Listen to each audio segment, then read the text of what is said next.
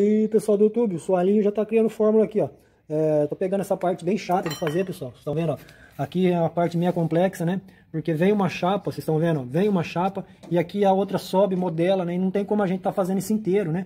É, é, não tem como, isso aqui é, é, muita curva e tal. Então vocês podem ver que tem bastante solda, né? Foi tudo soldado. Aqui foi uma fita que eu cortei de uma chapa um pouco mais grossa a tapona aqui onde vai a borracha, entendeu? Eu precisei pôr a porta de volta para poder fazer o alinhamento dessa chapa, que eu tinha perdido aqui. Eu fiz um corte muito grande para tirar o podre que tinha aqui, então eu perdi, entendeu? Mas a parte mais difícil eu já fiz esse lado aqui, graças a Deus. Lá tinha um remendão também, ó, fiz também já. Né? Aqui é a parte mais simples, porque é reto, tá vendo? Aqui vai de boa, aqui é muito de boa. Aqui de baixo tem que soldar mais uma fitinha para travar aqui, ó. Ficou muito resistente, pessoal. Ficou muito forte mesmo, né? Ó. Eu usei essa chapa de capô de carro, né? Do Astra, tá vendo? Do Monza, né? É, porque ela é uma chapa boa, ela não enferruja. Só essa aqui, ó, que eu precisei usar uma chapa de painel de portão. Porque ela é uma espessura chapa 18, né? Pra não precisar pôr duas aqui, que é onde vai a borracha, ó, tá vendo? Pra ficar bem forte. Foi tudo soldado de fora a fora com oxigênio. Então aqui eu tive que pôr essa chapa. Eu não gosto de pôr muito ela, que ela enferruja mais fácil. Mas aqui eu tive que pôr, não teve jeito. A curvinha aqui, pessoal, vocês podem ver, foi tudo feito cortes, né? E foi feita a curva, né? É, modelei ela e depois fechei na solda. Tá tudo grosseiro ainda, né? Isso aqui vai ser lixado agora. Eu vou tentar rebater um pouco mais, puxar com a spotter aqui. É, vocês podem ver que tem uma ondulação ainda. Tentar corrigir o máximo essa parte daqui pra cá, entendeu? Aqui vai ter que amaciar, que aqui é acabamento, entendeu? É, agora pra dentro, pessoal, eu não vou caprichar muito assim, parte visual, estética, não. Porque aqui eu vou estar tá fazendo a tapeçaria, que vai envolver isso aqui, né? Então aqui não tem muito segredo. Aqui o negócio é calafetar e rebater por baixo certinho para não ficar rebarba, né? E aqui por cima não tem muito segredo, aqui é só soldar mesmo, né? Aqui agora já está muito fácil para fazer, né? Então só ficou a parte de lá agora. A de lá tá menos podre, lá a parte que saiu foi menos. Mas o, o, trabalho vai ser o mesmo, entendeu? Porque tanto faz um pouco maior quanto menor nessa curva, vai ter que fazer tudo. Aqui eu vim rebatendo, que essa chapa foi a que passou para lá, né? E ela veio até aqui. Eu fui rebatendo para arredondar ela, fui esquentando, né?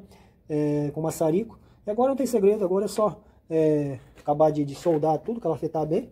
Lá vou ter que pôr a porta também, né? Possivelmente. Né? Lá talvez não tenha que pôr a porta, porque eu já tenho uma, uma base aqui de medida, né? Aqui é a mesma medida que está aqui lá, mas como lá já não tinha quina antigamente, não teve jeito de me tirar a medida. Eu não tinha mais quina aqui, os caras tinham colado a borracha com uma cola de para-brisa. Então não sabia mais onde era o posicionamento aqui. Eu não tinha outra caminhonete aqui para tirar a medida também. Então eu precisei pôr a porta para fazer a medida com a borracha, né, lá. Para poder fazer a medida aqui. Mas agora tá ficando 100%. Depois, na hora que eu vou mostrar para vocês aqui, é, daqui a pouco, é, eu vou estar tá já finalizando tudo aqui, eu já mostro o final. Depois é só fazer a aplicação da, da do né? É, vou aplicar aquele produto aqui para matar essa ferrugem, que esse produto que compra, esqueci o nome. É um ferrox, um negócio assim. Para tirar um pouco essa ferrugem, depois deixar de um dia para outro e aplicar o anti-ruído, né? Aquela massa de proteção mesmo, e depois um bate-pedra e a tinta, né? É, vai ficar bem bacana aí mesmo. Aí, pessoal, continuando aqui com a assoalho, ó. Já ficou pronto aqui, pessoal, aí, ó. Tudo prontinho já. Agora é só maciar aqui essa parte de cá, né? E a parte de dentro ali não tem tanto acabamento, é mais calafetado. É, ficou muito bom, é bem alinhadinho, ó. Tudo soldadinho aqui também, tinha uns podrinhos. Pro lado de lá ficou beleza, pessoal. Já tô passando o produto para eliminar a ferrugem, ó, como é tá ficando branquinho. Entendeu? Lugar que a ferrugem é mais grossa, tem que passar várias vezes, pessoal. Aqui também fiz uma solda no teto, ó. Tava meio solto ali aquela peça do prende teto solar aí. Vamos pro lado de lá. Aí, pessoal, para quem gosta de reforma aí, ó, vai acompanhando o canal, vai aparecer bastante coisa. Aqui também acabei, pessoal, tá vendo?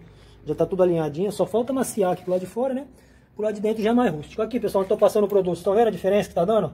Ó, aqui eu não passei para deixar para vocês verem aqui, ó, mostrar aqui. Tá, esse da Vedacity aqui, né? Vedacity, esse aqui é muito bom, ó. É que nem uma água, né? Você passa com o pincel. É, ele manda passar só e depois pintar por cima. Mas eu tô passando e tô lavando, pessoal.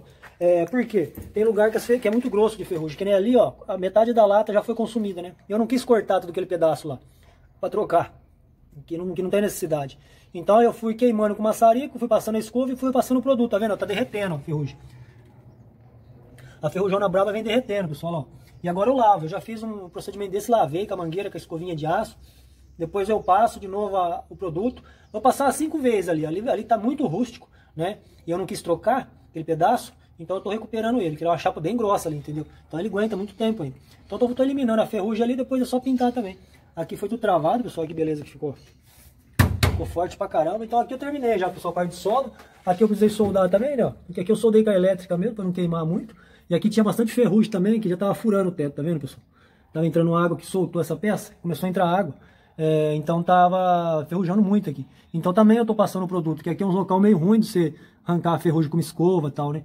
Então eu vou passando, todo dia eu passo um pouco e venho, e venho lavando, né, com jato. E vem passando de novo, até tentar eliminar o máximo que puder, para depois aplicar uma tinta aí, né? Uma tinta protetora aqui, né? Um preto fosco, um preto vinílico aí, para estar tá, tá protegendo aí. E aqui também depois vou aplicar um bate-pedra, um anti-ruído lá, e um bate-pedra por cima e pintar, né? É, na cor do veículo aqui, nessa parte que vai aparecer. Né? Aqui eu deixar preto normal mesmo, que aqui vai ser tudo carpete agora. É, então vai ficar bacana mesmo, pessoal. Agora aqui tá pronto, né? Agora vai ser a parte de desmontar a frente ali. Vou arrancar toda a frente dela para estar tá levantando essa gabine, pessoal. Trocando os coxinhos aí, ó. Vou pôr os seis coxinhos novos, é, porque ela tá toda arriada, a gabine. Vocês podem ver que ela chegou a furar ali, ó. Olha lá, ó. Coxinha arriou, não tem mais coxinha, tá vendo? Furou aqui, ó. Tá, esses dois é, peças aqui, ó, é o pino ali do, do chassi, né? Então ela tá sentada, a gabine em cima do chassi, não tem mais coxinha essa parte da frente. Então tá tudo desalinhado. Então vou renovar tudo. É, as partes de estrutura embaixo tá, tá perfeita, só os coxinhos mesmo que estourou. Depois é só é só tá levantando ela alinhando, né? Acabando de soldar alguma coisa aqui por baixo também aqui, ó. Tem que soldar, né? Pra encontrar com essa outra lata que eu pus. Mas aí no elevador eu faço isso, na hora que eu soltar a gabine e soltar a frentona dela lá. Beleza, pessoal? Depois nós volta com a finalização da, da parte da frente lá, da parte de soldagem. Aí, pessoal, seguindo aqui, ó. Projeto da D40 aqui, ó lá. Já desmontei a frente dela inteira, né? Soalhinho já, já acabei tudo aqui, ó. É, eu não tô mostrando a etapa do serviço, pessoal, eu fazendo o serviço, que senão é complicado você que tá gravando, sabe? É, aí complica muito, fica muito difícil para mim estar tá fazendo isso. Então eu, eu faço o serviço e depois vou mostrando, entendeu? Fazendo os vídeos assim. Pessoal entendendo, vou dando umas dicas também, para quem está fazendo aí uma reforma e tal, para quem leva a caminhonete no funileiro também umas dicas, né? Poder estar tá falando pro teu funileiro a forma de fazer. É, o ideal, pessoal, sempre que vai reformar uma caminhonete dessa daqui, ó, D20, F1000, o ideal é desmontar toda a frente. Por quê? Porque fica muito gato escondido aqui, ó. Vocês podem ver, ó. Tem tudo trinca. Se você não desmonta, você não vê isso. E com o tempo isso aqui agrava, tá vendo? Ó, tudo trinca, ó. Então aqui, aqui fica fácil tá fazendo a solda. Tá tudo desmontado, na hora de pintar tá fácil. É, os detalhes, ó, tem que catar um podrinho de baixo também, pessoal. O mais difícil lá era o assoalho, né? O assoalho era mais complicado. Aqui tem uma partezinha aqui também, você pode ver que ela é meio complexa, que ela tem uma dobrinha, mas isso aqui não precisa estar tá fazendo. Você pode fazer uma chapa reta aqui. Dá também. Isso aqui fica de baixo, quase não vê. Né? Lá também tem os podrinhos. A, grade aqui também tá boa, né? É só fazer essa pecinha que eu vou fazer também, ó. Perdeu essa pecinha, mas dá pra estar tá fazendo. Esse palarama, pessoal, tá vendo? Parecia que tava bom por fora. Mas quando você desmonta, olha aqui tanto de solda que foi feito esse palarama. Isso aqui rachou tudo, soltou tudo o pontilhamento. Então, às vezes você deixa isso aqui montado achando que tá bom. É, e aí fica isso daí, a caminhonete fica ringindo, você não sabe o que, que é, entendeu? Sobrou só um podrinho embaixo, mas vou lavar ele agora por dentro para depois estar tá fazendo. Esse daqui praticamente está pronto a solda, né? É, ali também é pouca coisa. Aqui, esse já é um palarama paralelo, pessoal. É pior ainda, tá vendo? Se um dia você reformar sua caminhonete, se você tiver condições de achar um original usado, é bem melhor. Isso aqui é uma lata muito fina, né? Mas para quem usa também, não tem opção, vai ter que comprar um paralelo mesmo, pessoal. Eu já, eu já dou a dica assim. O ideal é mandar, você mandar teu funileiro soldar tudo, entendeu? Se ele tiver amigo, ele soldar tudo, tudo. Onde tem a junção de lata, pegar e soldar. Porque o pontilhamento, pessoal, solta. Porque aqui fica o peso do capô, entendeu? É muito peso em cima de uma peça dessa, paralela com a chapa fina, tá vendo? A chapa não é tão fina, mas por ser é, é, comparado com o original, que é bem grossa, ela é, ela é bem fina, entendeu, pessoal? Então, tá vendo? Vocês podem ver que soltou tudo, ó. Então isso aqui agora já fica mais difícil estar tá soldando, entendeu? Porque soldou, empenou, né? Então isso aqui agora fica... Com... Aqui soltou tudo, pessoal. Ó, não sei se vocês podem ver, soltou tudo, ó. Chegou a trincar. Ele praticamente desmontou, entendeu? É, então agora eu vou soldar ele tudo no oxigênio, que nem aquele. Aquele eu tinha soldado, soltado tanto, né? Mas eu pontilhei tudo também. Então isso aqui era um barulhão tremendo quando você funcionar o veículo. Era horrível. Então agora, ó, tá vendo? E amassou muito aqui, que prensou com a porta, né? Então vai ter que ser feito um trabalho de funilaria grande nesse pedaço aqui pra lá, né? E vai acabar queimando mais aqui, porque vai ter que soldar tudo isso aqui, ó. Aqui, ó. Estourou tudo, entendeu? Pra gente poder estar tá recuperando, fazendo uma resistência maior nele. Aqui, inclusive, é, lugares que não mostra ali, eu vou até pôr um reforço mais, né? Para poder dar um pouco mais de resistência aqui, ó, né? Isso aqui quebrou, pessoal, devido a ter soltado os pontilhamentos aqui, né? Original, porque ó, o pontilhamento era um, dois, olha a distância que era os pontos aqui de, de pontilhamento, de, de ponto. Então isso aqui não aguenta. Entendeu? O capu vai aqui, é muito peso, pessoal. Então, se você comprar um paralelo, tem que soldar tudo. Beleza, pessoal? Depois eu faço mais um vídeo aí mostrando o início, é, o segmento aqui do projeto. Aqui já foi desmontado, né? Vocês podem ver, ó. É, já foi lavado uma vez, né? Vai ter que ser lavado umas três, quatro vezes, né? Tô raspando a terra também que tá saindo, ó. Aqui é coisa de 20, 30 anos aqui, né?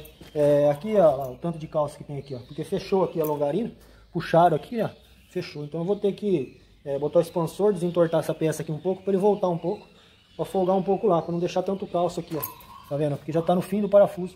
Eu vou tentar abrir um pouco mais essa frente dessa longarina aqui, com aquela travessa lá. Ela, entor... ela fechou um pouco, depois vou dar esse trato aí também. Aqui, pessoal, como é que eu faço para arrancar esse espelho aqui? Aqui eu acho que não vou pôr mais filtro. Eu vou aplicar só um bate-pedra aqui, bastante mão de bate-pedra. Isso aqui, ó, eu arranco com a escova torcida na lixadeira. Isso aqui sai facinho. Eu arranco esse mais grosso com a mão, aqui, ó. Estão vendo? Depois que fica essa crosta, eu passo a, eu passo a, a escova de aço com aquela lixadeira. Escova de aço torcida. Isso aqui sai tudo, esse pelo aqui, ó. É facinho de tirar isso aqui. Entendeu? Depois eu aplico bate-pedra nessa parte aqui bastante. E não vou estar tá usando mais esse filtro aqui não. Isso aqui também vou tirar para lavar tudo por dentro. Higienizar, né? Então é isso aí. Tá seguindo o projeto aí, pessoal. Quem gosta aí de reforma, ó, acompanha aí, ó. Aqui também já tem um trinquinho. Depois nós vamos fazer com solda de alumínio. É, tá trocando todas essas mangueiras de óleo aí também, tudo. Tá beleza mesmo. Beleza, pessoal? Estão gostando do vídeo aí da reforma? Dá um like, se inscreva no canal. Abração a todos e até o próximo vídeo, meus amigos. Até mais.